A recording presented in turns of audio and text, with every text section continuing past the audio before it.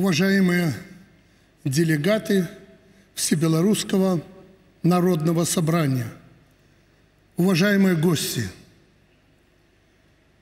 сегодня в Беларуси поистине исторический день.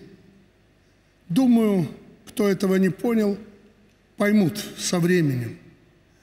Впервые в конституционном статусе начинает свою работу Всебелорусское народное собрание седьмого созыва. Впервые послание президента, с которым по нашей Конституции глава государства должен обращаться к народу и парламенту раз в год, будет озвучено в ходе Всенародного форума, что станет уже ежегодной традицией. Я намеренно оставляю в своем докладе за скобками вопросы развития реального сектора экономики. Все темы мы детально разобрали на недавних совещаниях, которые широко освещались. Уверен, что каждый из вас с ними знаком. Соответствующие поручения даны, они подлежат исполнению. Сегодняшнее событие фактически делит историю политической жизни страны на до и после.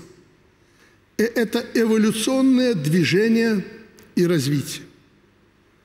Историчность момента определяют не только новый статус, новые функции, новые полномочия вас, делегатов. Важно не что, а как мы делаем, как совершенствуем модель политического устройства, не ломая уклада, не отказываясь от традиций эволюционно, по-белорусски, взвешенно, без резких движений – опираясь на мнение большинства. Мы спокойно относимся к неприятию западными либералами нашей модели политического развития. Невзирая на это, сами мы не отрицаем прогрессивные формы западноевропейской демократии. Мы их интегрируем в свое политическое устройство, в свою культуру, в свое мировоззрение – если они не противоречат нашим принципам и ценностям. Роль механизма слияния исконных традиций и мирового опыта управления выполняет Всебелорусское народное собрание. Посмотрите, сегодня в этом зале собрались представители всех слоев общества, всех профессий и статусов. Об этом только что говорил наш председатель ЦИК, руководители, люди в погонах, труженики села, работники предприятий и сферы услуг, предприниматели, педагоги, врачи, деятели науки и искусства, спортсмены, истинные представители народа, уверен, патриоты. Славянское вече в его современном облике. По-простому – народный исход, который теперь стоит выше всех ветвей власти, мнение которого должен учитывать и глава государства. Что важно, среди делегатов собрания депутаты местных советов, представители гражданского общества, парламентарии. Мы не отказались от советских демократических традиций, дополнив их современными, соответствующими духу нашего периода и его истории. И в этом наша сила, сила, которая формирует нацию, укрепляет национальную государственность. Я с этого и хотел бы начать. Мы усиливаем роль и статус власти народных представителей. И здесь важно сделать акцент на том, что мы в принципе не отделяем власть от народа. Первый президент, руководители всех уровней, выходцы из самых простых семей. В Беларуси есть только один путь к высоким должностям – через умение и желание честно работать на благо своей страны. И кем бы мы ни являлись, находящиеся в этом зале, где бы ни работали, между нами нет дистанции. Здесь у всех нас один статус – участников Всебелорусского народного собрания, делегаты и приглашенные. И этим достижением национальной демократии я горжусь больше всего. Мы гордимся наработанным опытом стратегического планирования. Без малого 30 лет собрание во многом определяло государственный уклад Беларуси. Скажем прямо, первое Всебелорусское народное собрание спасло нашу страну. Все пятилетние программы социально-экономического развития реализовывались только после одобрения делегатами ВНС. Пришло время выходить на новый уровень, и мы сделали это. С обретением конституционного статуса роль собрания, компетенции делегатов увеличились многократно. Теперь Всебелорусское народное собрание утверждает все основные программные документы определяющая экономическое развитие, безопасность нашей страны, словом, стратегические вопросы. Подчеркиваю, стратегические вопросы. Разумеется, делегаты должны понимать, что в этих документах написано, уметь объяснить людям, и не просто объяснить, надо включить общество в политический дискурс. Сегодня без этого нельзя. Не будем мы разговаривать с нашими гражданами, с народом о глобальных целях развития государства, за нас это сделают другие. Именно единое понимание национальной стратегии должно еще больше сплотить и укрепить нас. Другая важная и новая задача ВНС – решение кадровых вопросов. Теперь вы, делегаты Всебелорусского народного собрания, будете избирать судей – Конституционного и Верховных судов, членов Центральной избирательной комиссии. Вам дано право оперативно собраться и принять решение о введении чрезвычайного или военного положения. Дай Бог, чтобы не было повода, но миссия более чем ответственна. И даже признание легитимности выборов – в ваших руках, всех выборов. Все ваши решения в иерархии правовых актов страны займут высшую позицию и приобретут общеобязательный характер. Их должны будут исполнять все граждане, все органы и институты власти. Скажу больше. ВНС получила исключительное полномочия – приостанавливать решение любого органа или должностного лица. Тем самым собрание станет защитным буфером от возможных опасных процессов, идущих вразрез с интересами общества и государства. Делегаты – это и есть глаз народа, коллективный разум его. Вы не просто всеобщее собрание, вы национальная совесть. Вы, повторю, глаз народа – у вас нет права на ошибку. Вы имеете право только на верность и преданность своей стране и нашему народу. Ваша миссия – служение во имя будущего Беларуси. Весьма символично, что свою работу Всебелорусское народное собрание начинает с обсуждения и принятия важнейших документов, обеспечивающих национальную безопасность. Беларусь – компактная страна. Белорусы очень миролюбивый народ по своей природе, обладающий запасом мощной жизненной энергии, ресурс уникальный, который в разные периоды истории помогал выжить белорусскому народу. При этом маниакальное желание быть сильными мира сего нам абсолютно чуждо. Но мы знаем, что значит быть сильными во имя мира. Это наша память, это наш исторический опыт, который стоил нам очень дорого. В нынешнем году мы отмечаем 80-летие освобождения Беларуси от немецко-фашистских захватчиков. Поколение победителей показало, что сила нации не в капиталах, не в военной мощи, не в амбициях. Она в истинных ценностях, в стремлении к справедливости и вере в себя – когда на землю ступил враг, советская страна еще не оправилась от разрухи гражданской войны. люди не жили в роскоши. Но они победили. Победили всю Европу, богатую, ставшую под знамена нацизма. Свою страну очистили от фашистов. И тех, кто еще вчера смотрел на советский народ свысока, мы тогда тоже оздоровили. Победили, потому что сражались за родную землю, и она давала силы.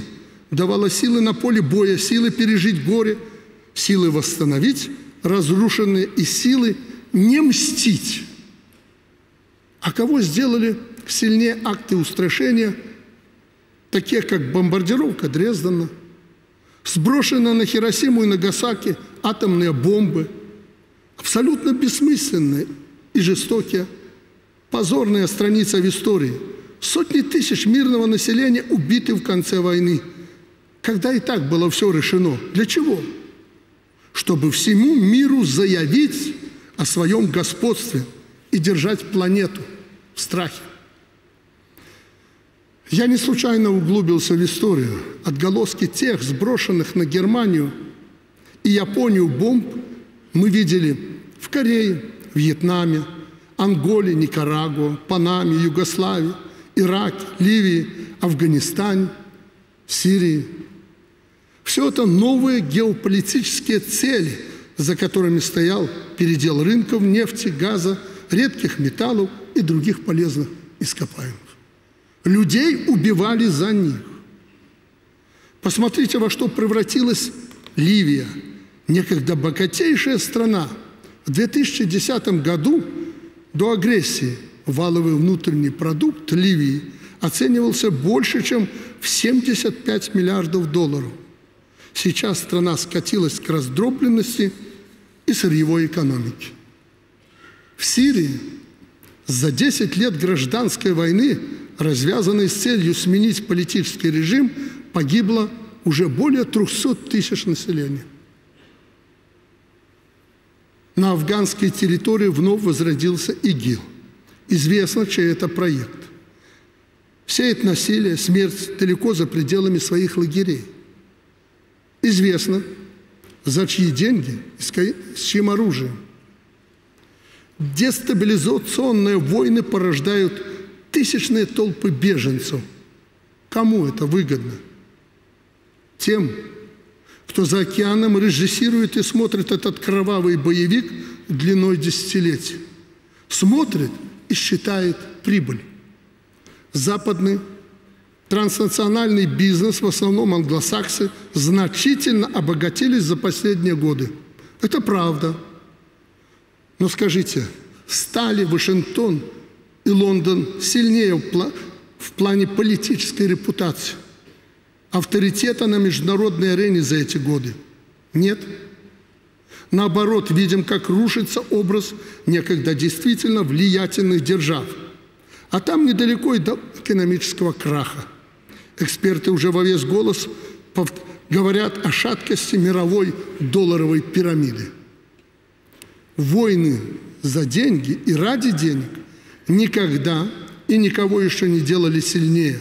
Обогащались кредиторы войн либо на торговле оружием, либо вгоняя в долги, как это сейчас мы видим на примере нашей братской Украины. Чьи позиции укрепила бойня между Израилем и Палестиной? В войну на Ближнем Востоке втянуты Сирия и Ливан – и посмотрите, как филигранно, тонко делается все, чтобы столкнуть Израиль и Иран, практически ядерные державы. Это, конечно, далеко от нас, но далеко только географически. С точки зрения интересов Беларуси, в том числе экономических, очень даже близко. Поэтому тянут очаг напряженности на юг, чтобы окончательно разрушить евразийские рыночные, культурные, дружественные связи. Забегаю вперед, скажу, потому что у вас может быть вопрос в голове. А кто это делает, понятно. А зачем? А во имя чего? А потому что гегемон теряет свою гегемонию. А гегемония в мире для них – это огромное богатство. Можно ничего не делать, имея станок печатать доллар, и гегемонию в мире и быть богатыми. А что на севере, на наших западных границах? Многие ли из наших соседей стали сегодня сильнее? Например, Прибалтийские республики, которые так стремились к своей независимости.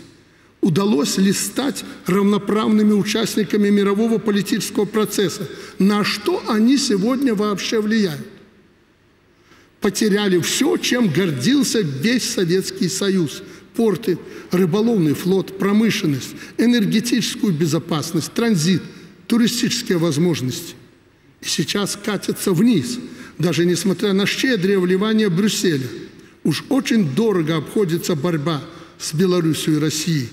В 2023 году валовый внутренний продукт Литвы и Латвии снизился почти на 1%, Эстонии на целых 3,5%. Политику Наверное, это и не слишком заботит. Платят ведь обычные граждане. Это их доходы и зарплаты падают, а цены и налоги растут. Латыши и литовцы. Более трети населения потеряли за годы своей так называемой независимости. Вражда балтийских государств в отношении восточных соседей привела к отказу от истории великой страны, отрезали себя от источника силы – что не говори, а именно советский период для литовцев, латышей, эстонцев был золотым веком их развития. Кстати, благодаря советскому государству Польша и Финляндия обрели свою независимость. И в этой истории, замечу, никого из них никогда не упрекали фактами предательства и сотрудничества с фашистами. А ведь в их истории это было – берегли их национальное достоинство. А те, как выяснилось все годы, держали камень за пазухой. Та же история с украинским режимом. Подумать только, цветущая страна, земля плодородная, пол таблицы Менделеева, в, поч в почве два моря, шахты, промышленные гиганты, народ творческий, работящий. Живи, радуйся и богатей и богатели, только очень немногие, в лучших традициях демократии, по-западноевропейски, олигархи и власть держащие подмяли под себя все ресурсы. Олигархи, получив народом созданное богатство, потом захотели и власти. Так всегда бывало и будет. Пошли в политику и начали втягивать в свои разборки бандитов и народ. Сначала поделили, потом начали стрелять друг друга и пытаться переделить. Так тоже было всегда в истории, и так будет. Понеслись Майданы, а к ним уже подключились западные спецслужбы и стали разыгрывать национальную карту. Все это было на ваших глазах. Подбросили нужный образ врага, виновника бед и нищеты народа Россию, а за компанию и нас, белорусов. Мы, видите ли, виноваты. Цветные революции не возникают и не побеждают на голом месте. Я об этом уже говорил не единожды. Это надо признать. Там, где народ доведен до нищеты, а у верхов карман трещит от награбленного, вывести людей на улицу и обвалить страну больших усилий не надо. Достаточно помнить про счета в зарубежных банках, властители сами – отдадут страну. Примеров масса. От Гаити до Филиппин. И в Украине. Не при Володе Зеленском все это создавалось. И не он виноват один в том, что происходит. На моих глазах от работы первого президента Украины до последнего все делили, грабили и воровали – Скажу откровенно, я предупреждал всех, что это плохо закончится. Потому что приходили новые президенты, а народ их ненавидел точно так, как предыдущих. Этим и закончилось. Это на Беларусь пришлось потратиться. Миллиарды бросили на то, чтобы нас привести в порядок. Мы приобрели колоссальный опыт – из того, что произошло стали сплоченной и зрелой нацией. Мы действительно стали сильнее. Мы тогда, в 20-м, посмотрели на себя, свою жизнь и на то, что нас окружает. Оценили, что могли потерять, увидели истинное лицо и внутренних, и внешних противников и врагов. Мы до деталей изучили, как работает методичка Вашингтонского обкома. На собственном опыте я всегда говорил уроки, уроки и еще раз уроки. Умные люди анализируют, что происходит вокруг, и извлекают уроки из того, что происходит. Мы это сделали. Вся эта спонтанная самоорганизация общества, так называемая, шла по одному сценарию, начиная с Южной Америки, Азии, завершая Казахстаном, Сербией, Кыргызстаном, Грузией, Молдовой и Узбекистаном. Схема госпереворотов не менялась десятилетиями. Даже не потрудились адаптировать под национальную специфику страны, понять, кто мы, кто же они, там, где они решили совершить так называемую цветную революцию. Неудивительно, что постановка голливудского спектакля с его карусельными предвыборными очередями, помните, девочками с цветочками, чаепитиями, голодных с печеньками и прочих элементами зрелищного шоу, шоу провалилась именно у нас в Беларуси. Потому что не было реальных социальных причин для мятежа и революционных настроений. Вспомните, да и революционеров-то не было. Жить к тому моменту Беларуси стали небогато, но значительно лучше уровня чарки-шкварки. Сегодня почти 60% себя относят к среднему классу. Ну да, некоторые разбогатели и потянулись к власти. У нас это было, как в Украине, прямо в лучших традициях того украинского сценария. А за ними пошли такие же, кто за свою жизнь никогда не держал в руках чего-либо тяжелее компьютерной мыши или мобильника. Были и такие, кто не сразу разобрался, поддался эмоциям. Важно другое. На нас тогда смотрели со всех сторон света. Смотрели и думали, чем же закончится в Беларуси. Что не хватает этим белорусам? Смотрели с надеждой некоторые, а в НАТО уже потеряли руки и готовились к военной интервенции в западные регионы как минимум. Рассчитывали, рассчитывали на хаос и блицкрик. Если бы не стойкость и мужество истинных патриотов, потеряли бы страну. Не выстоим мы тогда, натовские ястребы были уже под Смоленском – и украинская тема стала бы нашей реальностью. Но мы оказались сильнее и сплоченнее. Помните, я их предупреждал, что мы очень любим свою небольшую компактную страну. Мы ее очень-очень любим. А любимую не отдают. Мы их предупреждали.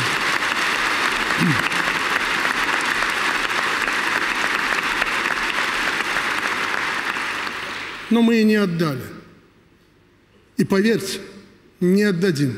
Какими, какие бы усилия они не предпринимали. А вот наши южные соседи,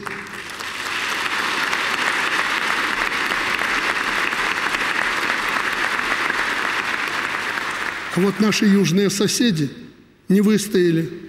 То, что Украина сегодня – это полигон, на котором решается судьба, отчасти решается судьба – будущего мирового порядка понимают все. Крупнейшие ядерные державы, пусть и опосредованно, но уже фактически воюют на ее территории, а уже не опосредованно. А власть опустилась до сделки с Западом, обменивая оружие на жизни украинцев. Больно это видеть, но давайте абстрагируемся, посмотрим на свершившееся философски.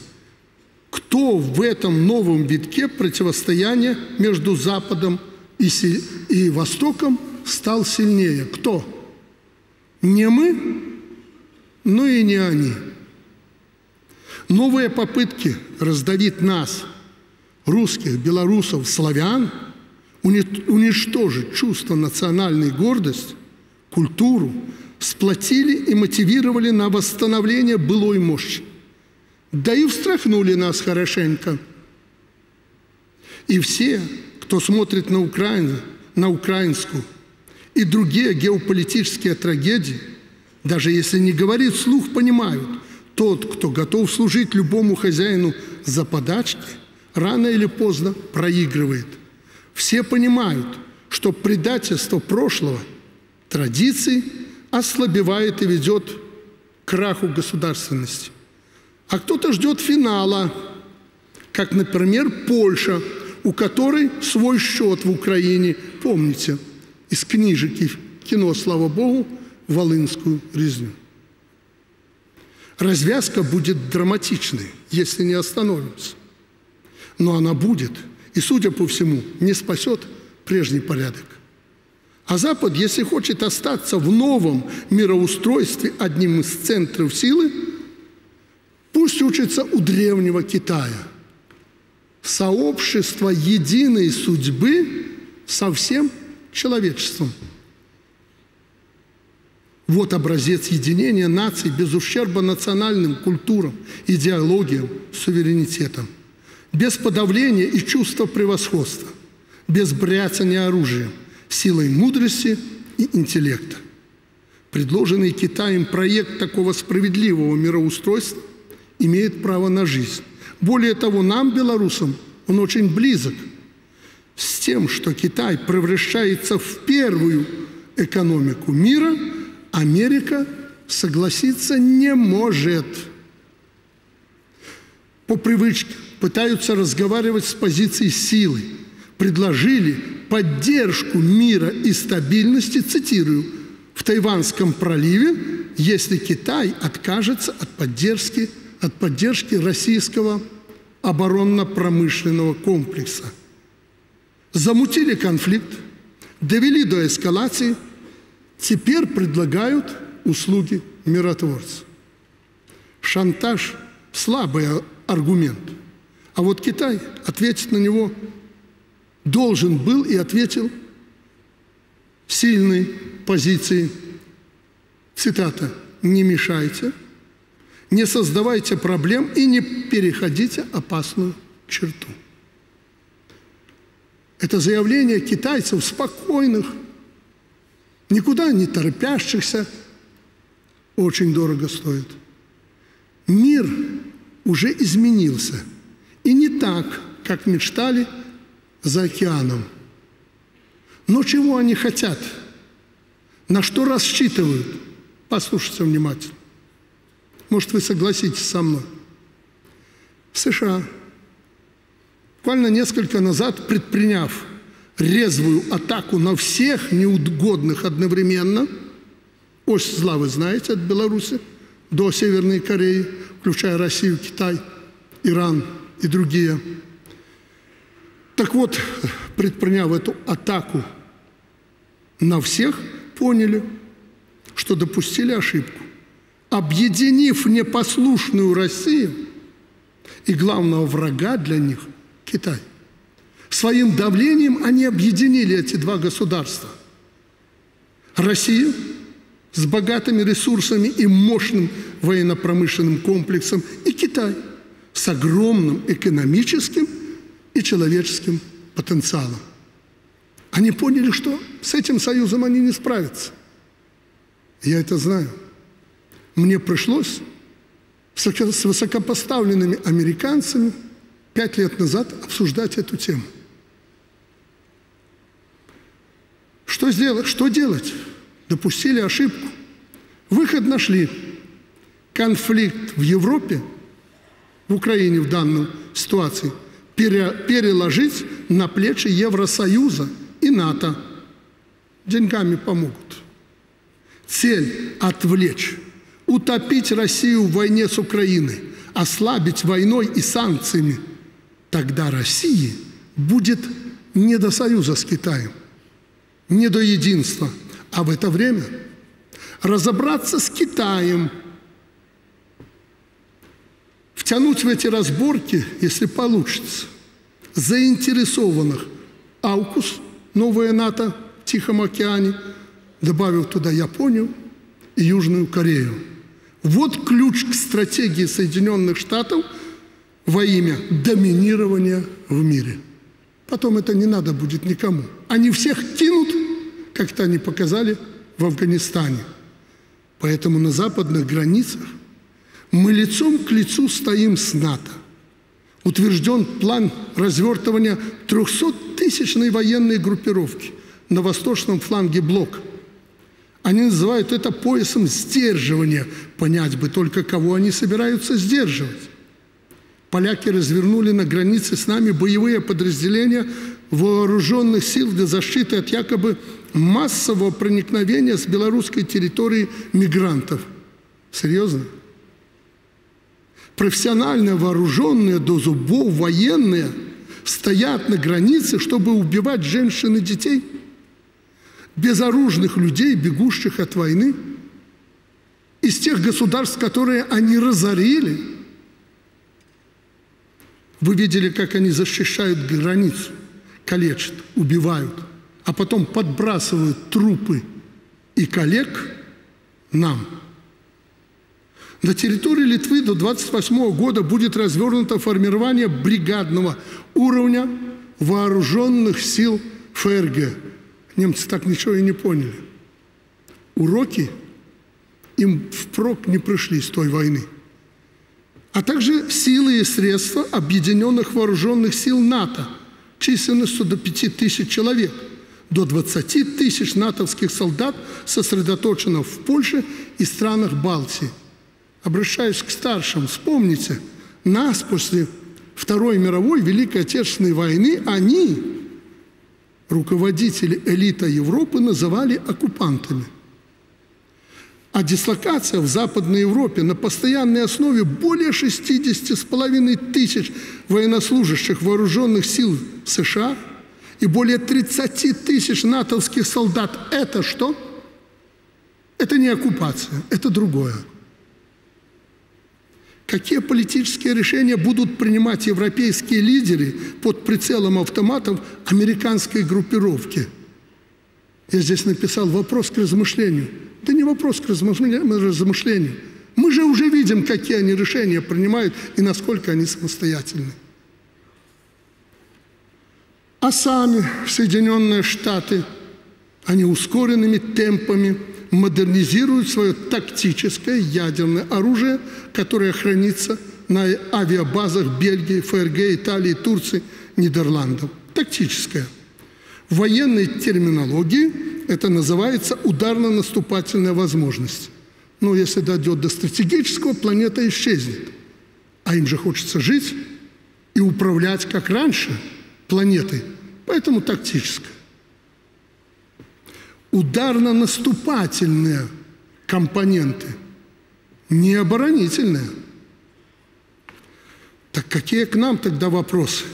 Что так возбудились, когда мы разместили аналогичное по функционалу оружие на своих базах? Латыши, конечно, странные – небогатая ведь страна. Пенсионеры еле концы с концами сводят.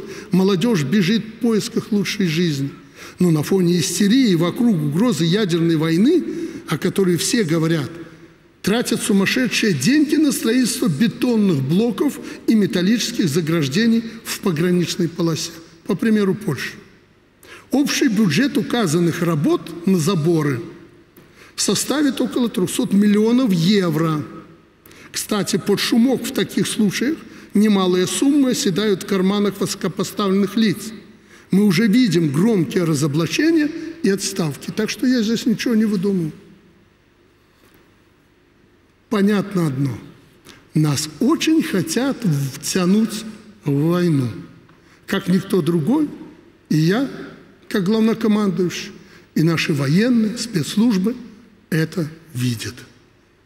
Пока они нас провоцируют, роют окопы, модернизируют военную инфраструктуру, вооружение. Я уже говорил, мы по другую сторону границы здесь строим мирную жизнь. Стены не возводим, окопы не роем. Но наше миролюбие не пацифизм. Я попрошу не путать. По мере роста угроз будем принимать симметричные меры и наращивать боевую мощь. И обращаясь к ним, хотел бы попросить, вы не толкайте нас к асимметричным мерам. Мы должны быть сильными, чтобы никто не смел поставить нас на колени, как было часто в нашей истории. Чтобы нас, как футбольный мяч, от ворот до ворот больше не бросали то в одну сторону, то в другую. Мы ни у кого не просим земли. Мы ни у кого ничего не требуем. Мы хотим жить на своей земле. Наш народ белорусский выстрадал это право, и мы его отдать никому не позволим.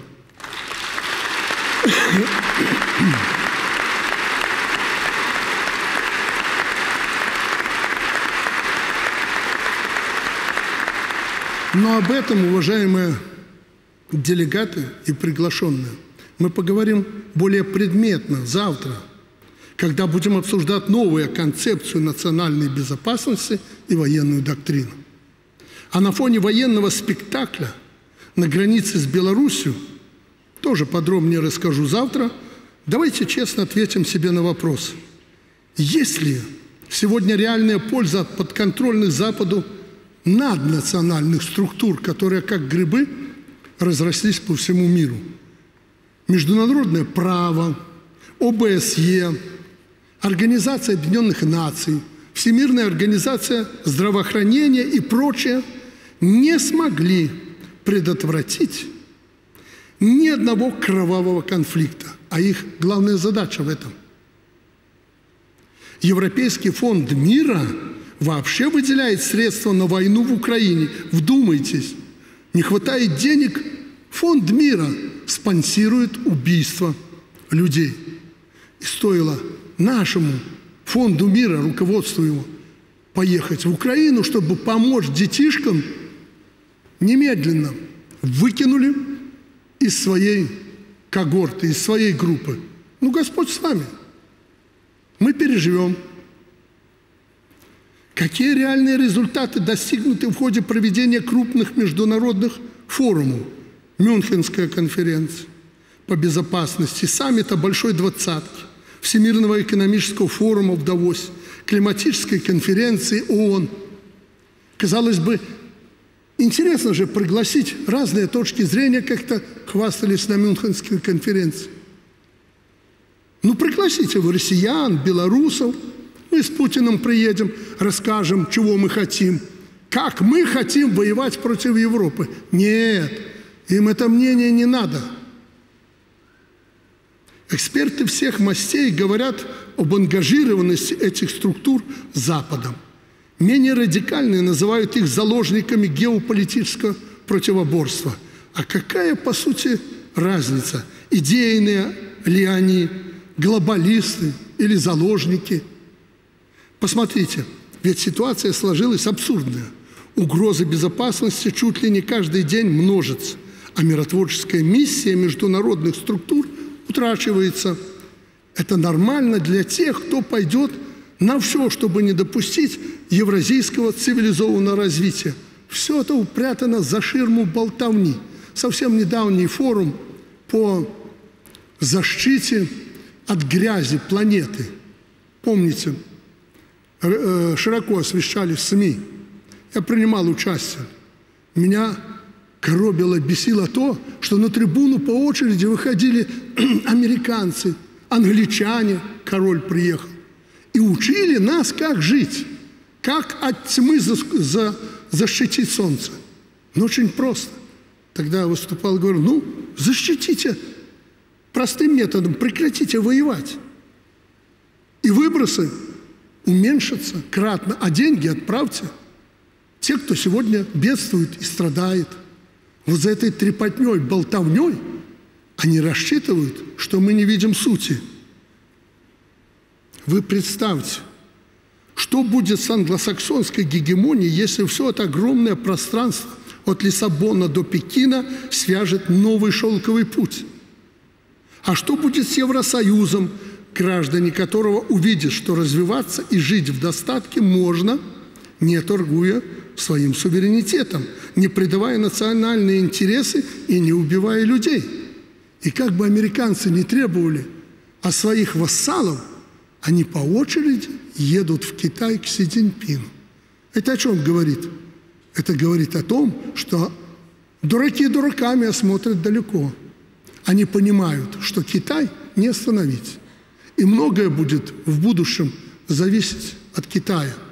В принципе, многие начали прозревать. Польша уже попыталась поднять вопрос о приоритете национального права по отношению к праву Европейского Союза и были быстро поставлены на место. Но тема будет набирать обороты, она не рассосется, не исчезнет. Венгрия делает, знаете, какие заявления. А что значит акты неповиновения Франции? Тоже попытка выбиться из массы послушных стран, хоть как-то заявить о себе – Международные соглашения, интеграционные союзы нужны, но такие, которые будут уважать национальные суверенитеты, выстраивать взаимодействие участников через диалог, консенсус, поиск компромиссов. Безопасность должна быть равной и общей для всех стран планеты. Согласен с экспертами, которые утверждают, что системы сотрудничества и безопасности можно и нужно строить в рамках континента – большой Евразии. Абсолютно уверен, что примером мирной и созидательной повестки станут проверенные годами наши союзнические отношения с Россией. Я бы даже сказал, что Союзу Российской Федерации и Беларусь удалось предвосхитить сегодняшние тектонические сдвиги во всех сферах. И сейчас именно наше время. Сильные, суверенные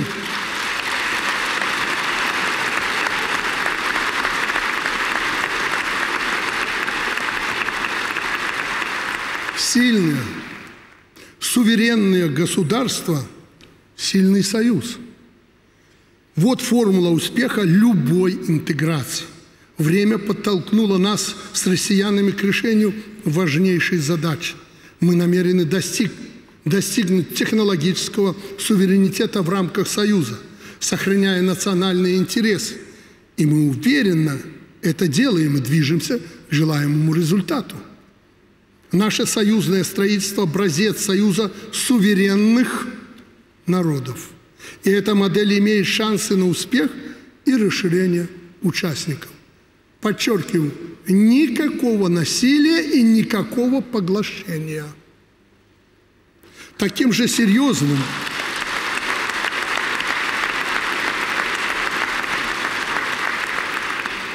таким же серьезным, ресурсным, хозяйственным и транзитным потенциалом обладает Евразийский экономический союз. Он вполне может претендовать на технологическое и интеллектуальное лидерство в регионе. Набирает вес Шанхайская организация сотрудничества, где мы уже летом будем выступать в статусе полноправного члена. Чтобы иметь представление о перспективах данной структуры, достаточно посмотреть, сколько места на карте мира – занимают государства, участники и наблюдатели. С таким размахом и не надо быть военным блоком по образцу НАТО, чтобы быть сдерживающим элементом любой агрессии. Да, и не в масштабе силы. ШОС – это разговор на равных.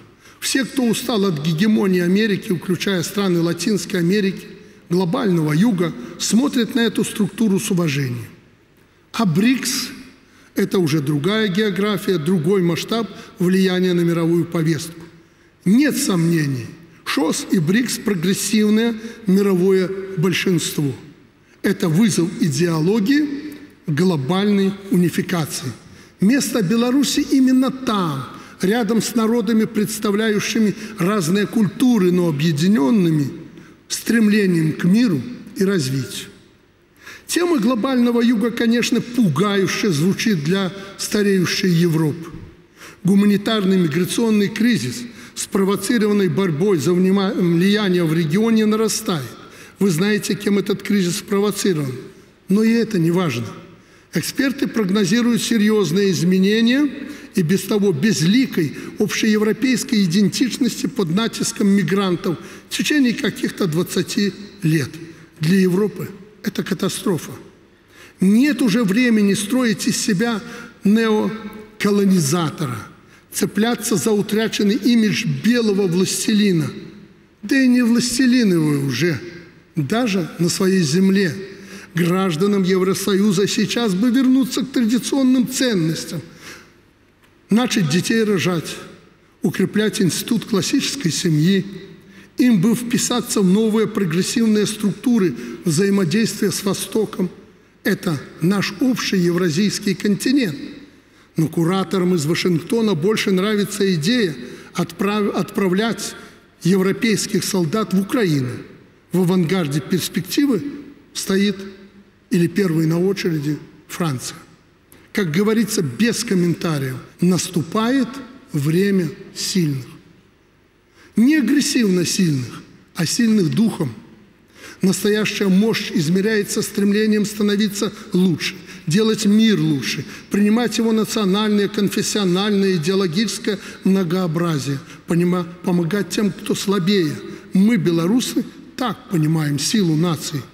Какие мы, современные белорусы, треть века, твердо стоящие под информационным санкционным огнем – Безусловно, развиваясь в ситуации постоянного давления и агрессии, мы закалились. А вообще историческое развитие белорусского народа, вопреки обстоятельствам, и есть тот уникальный путь, причем длиной в столетие. Мы нация сильная. Что должны делать в первую очередь, чтобы сохранить этот статус? Все просто. Надо становиться еще сильнее. Во главу угла сильная экономика – но и она следствие правильно геополитического выбора. Помните афоризм про советское прошлое, который родился, этот афоризм, на фоне разрухи 90-х. Те, кто рукоплескал либеральным реформам, и у нас тоже, хаял советскую систему, вдруг прозрели и начали вспоминать, как хорошо мы плохо жили – чтобы не пришлось когда-нибудь сказать также о нашем с вами времени, сравнивая его с какой-нибудь очередной гуманитарной катастрофой, давайте честно признаем, мы никогда еще так не жили хорошо, как сейчас.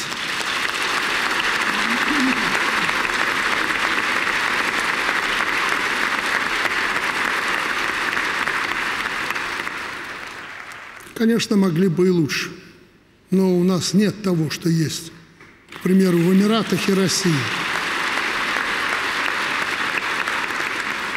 Признаем, чтобы не кидаться в революционные трансформации, не для этого треть века назад мы отводили народ от пропасти и отвели. Сегодня реальные денежные доходы белорусов в 10 раз превышают уровень середины 90-х. Я сейчас буду называть цифры не наши – их. Знаю, какая будет реакция на этот тезис. Некоторые понаписывают, что за 30 лет в 10 раз это не так уже много. Но подчеркну, реальные доходы, подкрепленные реальными возможностями покупать, сберегать, отдыхать.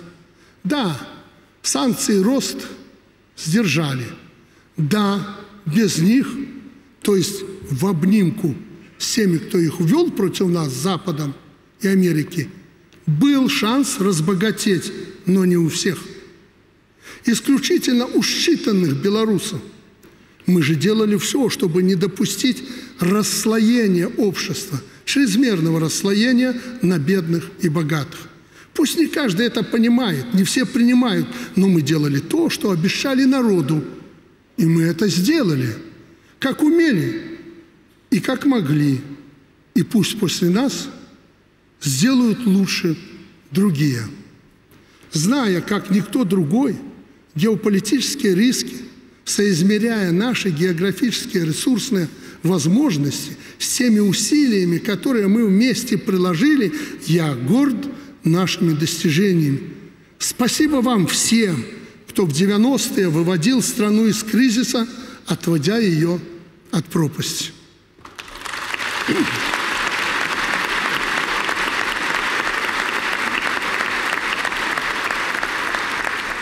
Да, можно много рассказывать о том, как годы становления суверенной Беларуси мы питались картошкой и хлебом. Мясо и рыба были праздничными блюдами. Бананы и мандарины вообще видели раз в год, и то не все. А теперь финансовые возможности белорусов, как говорят экономисты, покупательная способность доходов выросли в разы. Пожалуйста, на примерах, не наши цифры. В середине 90-х дохода хватило бы примерно на 20 килограммов говядины или свинины, ну, если бы их можно было достать. А сегодня это более 100 килограммов, рост 4-5 раз. Тогда доступно было 13-14 килограммов сыра и сливочного масла, если достанешь. Сегодня с лихвой не 13, а 46-48 килограммов, рост более чем три раза. Этот перечень не исчерпаем. Можно говорить о том, что еще треть века назад современная бытовая техника для нас была роскошью. На телевизор годами копили, на личном авто ездили исключительные люди. А сегодня эти исключительные люди имеют машины на разные случаи жизни. Для прогулки, на рыбалку ну, и других целей. К слову, в 90-м году прошлого века у наших граждан было в пользовании чуть больше полумиллиона автомобилей. А в 23 году, в прошлом, свыше трех миллионов, пять с половиной раз больше. То есть на каждого третьего жителя страны, включая младенцев, приходится автомобиль. Что важно, белорусы все больше могут себе позволить и позволяют покупку нового автомобиля. Уже очереди выстроились. А при поддержке Китайской Народной Республики, вдумайтесь в это, мы смогли создать собственный легковой автомобиль. В 23 году произведено и реализовано почти 70 тысяч автомобилей. И такие же очереди и на расхват эти автомобили, которые мы поставляем на экспорт. Кто бы мог подумать? Вспоминая 90-е, можно также много говорить о том, как не хватало квалифицированных врачей, педагогов, ученых, которые рванули на рынке торговать, чтобы выжить. Как ветшало жилье, школы, больницы, и не строились новые. Мы и мечтать об этом тогда не могли. А за период с 94 по 22 годы почти в два раза увеличилось число амбулаторно-поликлинических организаций – и сейчас это 2660 учреждений. В сфере здравоохранения Беларусь занимает одно из ведущих мест в мире по доступности медицинских услуг для населения. Заявление ВОЗ. Еще 10 лет назад пересадка органов человека в стране была историческим событием. Сегодня это широко распространенное бесплатное для белорусов медицинское вмешательство. Более полутысячи таких операций проводим ежегодно не только в столице, но уже и в областных центрах. За три десятилетия мы добились без ложной скромности невероятных результатов в сакральной теме рождения малышей. Всемирная организация здравоохранения – можно по праву гордиться тем, что мы смогли сократить материнскую смертность более чем в шесть раз. Это они говорят. Младенческую в пять с половиной. И имеем одни из самых низких показателей в Европе и мире. А благодаря ЭКО только за последние пять лет на свет появились более четырех тысяч маленьких белорусов. За этими сухими цифрами сотни тысяч – счастливых материнских сердец и радостных улыбок малышей. А для молодых и будущих мамочек отмечу, что Беларусь занимает двадцатую позицию в рейтинге самых комфортных для материнства стран. Всемирная организация сотрудничества, не я. На этот ком комфорт мы работали по всем направлениям, начиная от строительства учреждений дошкольного и школьного образования, медицинских, спортивных, развивающих центров, заканчивая разработкой общеобразовательных программ. Мы ввели в эксплуатацию 170 тысяч ученических мест в учреждениях общего образования среднего, 55 тысяч мест в дошкольном. За 30 лет достигли почти стопроцентной обеспеченности малышей местом в детском саду. В начале 90-х только около половины детишек шли в первый класс из детского сада. Конечно, я понимаю, что для тех, кто не видел той жизни, ну, допустим, 90-х, кто родился в благополучии, такой экскурс в историю не трогает. И это хорошо. Это значит, что нам, старшему поколению, есть что представить молодому поколению в год нашего тридцатилетия. Мы не просто преодолели свалившиеся на наши плечи трудности, мы сделали это быстро и качественно, так что поколение 30 плюс сегодня уверено, что белорусы всегда жили точно так, как сейчас. Да, нам в радость, что у них такая жизнь, для этого мы и работали. И мне в радость знать, что белорусы могут себе позволить иметь сбережения. Только в банках, по данным на начало этого месяца, на счетах населения хранится без малого, это данные можно проверить, 30 миллиардов рублей. В среднем это примерно по 1000 долларов на каждого жителя страны. И дома, думаю, под подушкой, как в народе говорят, спрятано, как у нас говорят, на черный день бедно живем. При этом Беларусь является страной с низким уровнем социального расслоения населения по доходам. По моему глубочайшему убеждению, именно так и должна выглядеть цивилизованная, высокоразвитая страна, страна равных возможностей. Беларусь кардинально изменила свой социальный статус из группы стран с низким уровнем человеческого развития – переместилась в группу с очень высоким уровнем, где уверенно занимает свою позицию уже более 10 лет. Вдумайтесь, всего за каких-то 30 лет мы это сделали. Давайте честно, основа для развития у нас есть.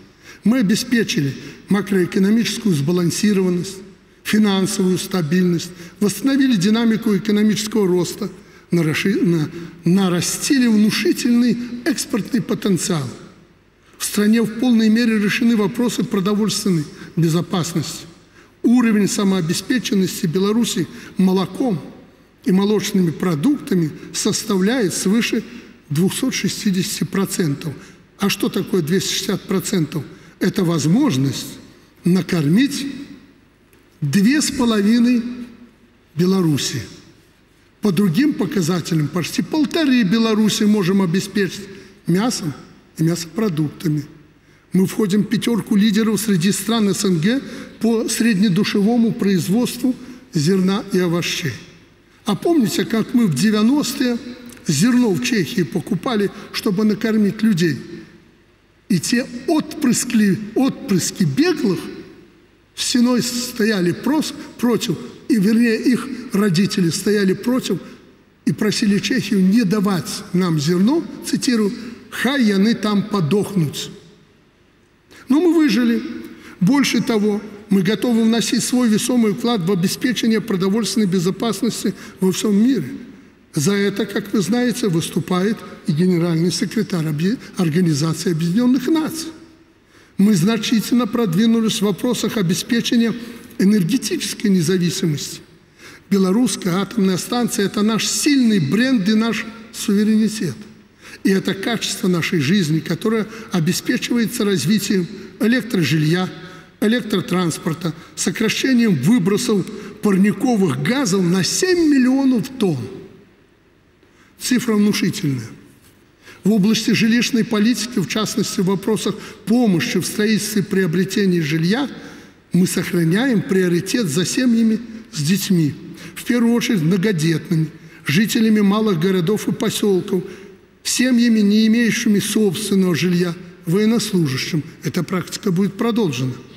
Почти миллион семей, миллион семей, семей улучшили жилье за эти годы. Сотни тысяч квартир построены с государственной поддержки, комфортные и современные. И если в 1995 году в благоустроенных квартирах, домах и домах проживало немногим более половины населения, сегодня мы близко подходим к стопроцентному показателю – 94. Рост в полтора раза. При этом в сельской местности показатель увеличился не в полтора раза, а втрое. По представленным мне данным, доля семей, указавших на удовлетворенность своими жилищными условиями, составляет почти 90%. Вы мои подходы знаете. Цифра очень хорошая, но должна быть выше. А кто-то вообще начал жить с размахом. И в целом мы построили с вами красивейшие города, преобразовываем глубинку, модернизировали и возвели немало спортивных сооружений мирового класса. Среди них Национальный олимпийский стадион «Динамо», спортивно-зрелищный комплекс «Минск-арена» с велодромом, конькобежным стадионом, спорткомплексы «Чижовка-арена», «Стайки», «Раубичи», грибные каналы в Бресте и Заславле. Эта инфраструктура позволила нам успешно провести многочисленные чемпионаты мира и Европы, вторые европейские игры, а в прошлом году вторые игры стран Содружества. Строительство многих культурных объектов стало поистине народным. Мы вместе строили национальную библиотеку, новое здание Музея Великой Отечественной войны, вместе строим и республиканский молодежный патриотический центр Брестской области, модернизировали и переоснастили все существующие объекты культуры, площадок для выступления наших культурных работников более чем достаточно. Иди и показывай свое мастерство. А мы, если вы нас заинтересуете, будем приходить и покупать очень дорого билеты, которые вы будете продавать. Так как это делает наш Большой театр, по-моему. Что важно, за три десятилетия мы почти в два раза увеличили протяженность дорог. При этом полтора раза увеличился километраж дорог с твердым покрытием. И на 1 января 2024 года составил почти 80 тысяч километров. Мы связали скоростными дорогами столицу с практически со всеми областными центрами. Трасса Минск-Полоцк, Витебск является завершающим. Думаю, в ближайшие годы мы это сделаем, даже год. Все это наш общий успех. Мы сохранили, приумножили наш промышленный потенциал. МАЗ, БелАЗ, МТЗ, Гомсельмаш, другие. Объем промышленного производства с середины 90-х по 23 год увеличился в 4 раза. Пишут, что по соотношению цена-качество наши соседи сравнивают белорусский трактор МТЗ с безотказным автоматом Калашникова. Спасибо, очень лестно. Благодаря современным нефтеперерабатывающим предприятиям у нас есть качественное и доступное топливо. А было время, когда не знали, как заправить и вывести на поля уборочную технику. Мы имеем серьезные компетенции в глубокой переработке, дерево-переработке. Выпуская продукцию с высокой добавленной стоимостью, стали заметным конкурентом по целому спектру продукции, от спичек до мебели и целлюлозы. Ну, поэтому против нас этого сектора, прежде всего, Запад ввел санкции. Мы для них сильные и ненужные конкуренты. Причем за время развития отрасли, за годы независимости, мы увеличили площадь лесного массива почти на миллион гектаров. Сегодня леса покрывают 40% территории Беларуси. А помните, сколько шума делали наши так называемые борцы за экологию? Но не космос ли все наши достижения? Да, мы космическая держава. Космос наш, и это не афоризм – полет Марины Василевской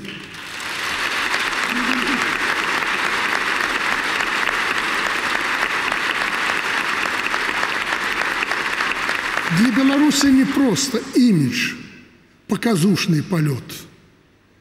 Это символический аккорд. Это вершина, к которой мы шли с советских времен. Мы много эффективно работали на космические программы – когда история освоения космоса еще только начиналась. Мы сохранили научные коллективы в годы суверенного развития и значительно продвинулись в космических технологиях сегодня. Мы запустили на орбиту первый белорусский космический аппарат в 2012 году. Сейчас там три наших спутника. Компетенции Беларуси в этой сфере востребованы другими странами. С Россией совместно работаем над проектом по созданию нового белорусско-российского космического аппарата с точностью выше предыдущего почти на порядок. Я это говорю. А еще один фактор, когда я об этом уже говорил, мы начинали строить атомную станцию, я просил россиян, чтобы больше белорусов там работали. Для чего? Для того, чтобы научиться и этим технологиям. И мы научились. Мы сегодня с россиянами по всему миру, где они захотят, везде, где они строят атомные блоки, мы с ними работаем вместе. Это успех интеллектуально развитой нации. Это результат того,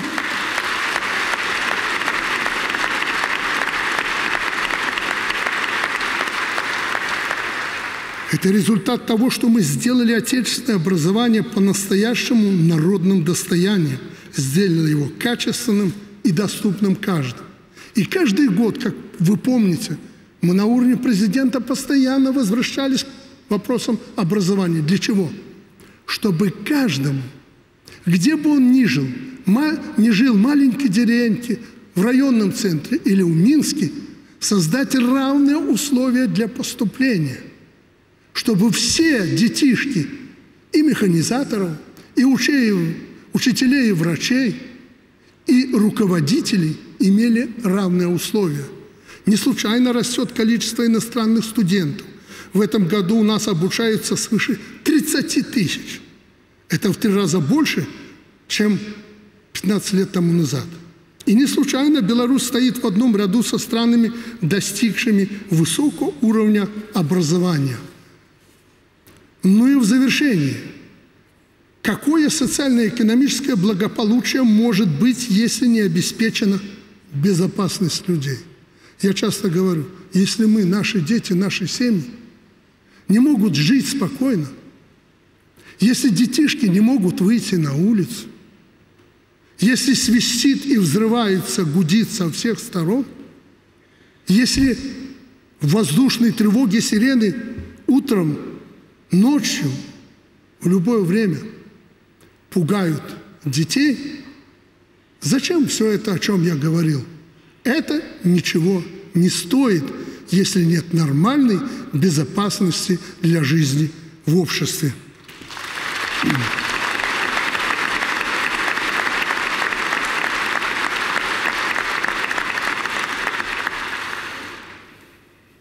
Помните 90-е? Когда пересекая границу под Смоленском, почти все не доезжали до границы под Брестом, направляясь в Европу и обратно. Поэтому в 90-е мы жестко и быстро разобрались с бандитизмом. Ждать не стали. Думаю, что уехавшие сегодня в прогрессивную Европу и в Америку – это достижение – нашей безопасности оценивают по достоинству. Не только я, и вы тоже знаете. Что там творится на улицах, мы видим. Мы же воспринимаем свою безопасность как данность. Ну и слава Богу. Очень непросто было, но мы сделали все, чтобы вырос авторитет защитника Отечества. Помните, в середине 90-х наши военные, не то что погоны – Ветераны Отечественной войны ордена, медали боялись выйти на улицу. Но это же было на ваших глазах. Половина, больше половины этого зала это помнят. Мы пресекли эти настроения в обществе. И сделала, сделали это во многом благодаря развитию национальной экономики, что позволяет своевременно решать, в том числе вопросы социальной защиты людей в погонах. Поэтому мы все время живем, не задумываясь о том, как в обстановке эскалации и напряженности обеспечивается необходимый уровень военной безопасности в нашей стране. Думаю, завтра вы это услышите и поймете, кто еще не понял. А он, этот уровень обеспечивается готовностью нашей армии к обороне, защите национальных интересов. То, как функционирует государственная система реагирования на акты терроризма, деятельность террористических организаций, незаконных вооруженных формирований и массовые беспорядки, к счастью, большинство из нас знают только по фильмам. Словом, живем мирно и спокойно, и к нашему счастью, молодые белорусы тоже уверены, что так было всегда. Да и то, как изменилась криминальная статистика, тоже не заметили. Снизилась уровень преступности, уровень криминализации общества. Почти наполовину. С 120 тысяч человек в 2004 году до 70 тысяч в 23.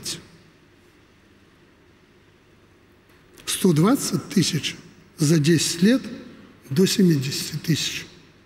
По нашим, ну, при том, вы же понимаете, что у нас отношение к правонарушителям очень жесткое. По нашим дорогам перемещаться стало безопаснее, как, как вам не удивительно это. В семь раз сократилось число фактов управления транспортными средствами в состоянии опьянения. Если в четвертом году их было 79 тысяч, в 23 году, как ни странно, 11 с половиной тысяч. 79 и 11 тысяч. Ну и что пьяниц на дорогах хватает. С 90 по 23 год практически в три раза снизилось количество дорожно-транспортных происшествий, хотя количество автомобилей и бездумно сидящих за рулем увеличилось значительно, я уже говорил. В 2020 году Всемирная организация здравоохранения поставила Беларусь на второе место в мире после Исландии среди стран с наименьшей аварийностью. Меньше стали гибнуть люди не только на дорогах, но и при пожарах, на водоемах, на производстве. Не буду углубляться в статистику, поскольку за всеми цифрами судьбы наших людей. Хотелось бы достичь идеала, который означает отсутствие такой статистики в принципе. В принципе. Но это утопия. А мы все равно должны к ней стремиться, к этой утопии. Нам еще многое предстоит сделать. У нас достаточно поводов для гордости. Будет еще больше. А работы у нас еще больше. Будет жесточайшая дисциплина. Будет и результат. И если мы не хотим сидеть в окопах, то мы должны работать ответственно. Каждый на своем месте. Честно, напряженно, так, как умеем. Мы уже не один раз превзошли себя во всех сферах, а в год качества должны сделать невозможное. Сегодня как никогда важно сохранить потенциал сильного единого народа, сильной и процветающей Беларуси, государства для народа во имя мира. Этот, этот потенциал нарабатывался десятилетиями, и не только нами – в него вложены колоссальные усилия советского поколения. У нас нет права подвести ни себя, ни тех, на чьих плечах мы создавали суверенное государство. Уважаемые делегаты, мы должны быть сильными, чтобы сохранить мир в своей стране, сохранить традиции, сохранить духовный стержень. Мы должны быть сильными, чтобы иметь возможность защитить слабых, помочь всем, кто нуждается в нашей помощи. Мы должны быть сильными, чтобы нас слышали на международной политической арене. И наш голос звучит в мире и будет звучать. Мы вместе прошли очень интересный путь к формированию своей национальной демократии. Шесть всебелорусских народных собраний, четыре всенародных референдума. Создали основу гражданского общества, общества сильного – и патриотичного.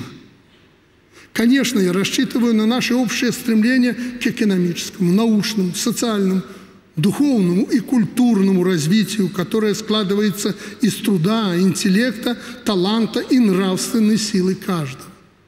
У нашей Родины, кроме нас, у нашей Родины, кроме нас, никого нет – Только мы знаем, каким должно быть будущее Беларуси, какой должна быть наша страна, как сделать ее сильнее. Только мы это знаем и никто другой.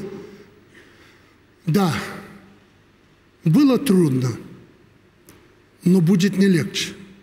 Но будет интересно, ибо мы выбрали сильную, суверенную, независимую, мирную Беларусь.